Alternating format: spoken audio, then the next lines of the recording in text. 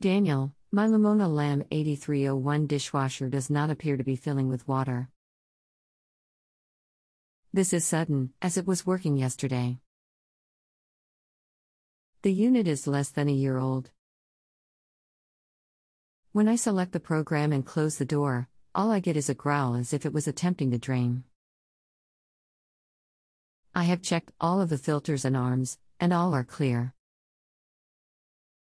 The only thing I haven't checked is the fill switch possibly being stuck, due to inaccessibility. Would remove cabinet kickboard to gain access if you think this may be the problem. I have turned the power off at the mains. A D tried to reset, to no avail. Please, can you assist? Brian. Hi, I'm Daniel. Welcome to JustAnswer. I'm reviewing your question now and will post back with your reply momentarily. When you try and start it, does it just sit there making the growling noise? If you open the door and pour a jug of water in there and close the door, does it just drain the water out straight away?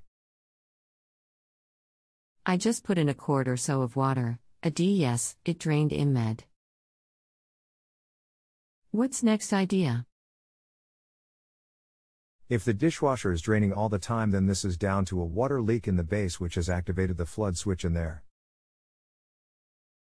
What you need to do is pull the dishwasher out and lean it 45 degs backwards, and this will allow the water to drain out from the base.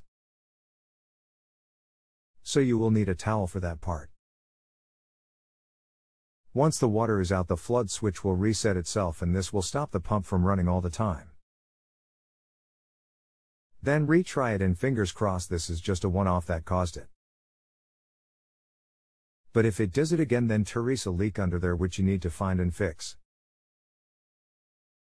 For this you need to remove both side panels and then you can see the workings under there and check for any loose hoses. Try that and see how it goes from there and let me know. Thanks for the assistance. We'll contact you if it does T do the trick, Brian. No worries, that's fine.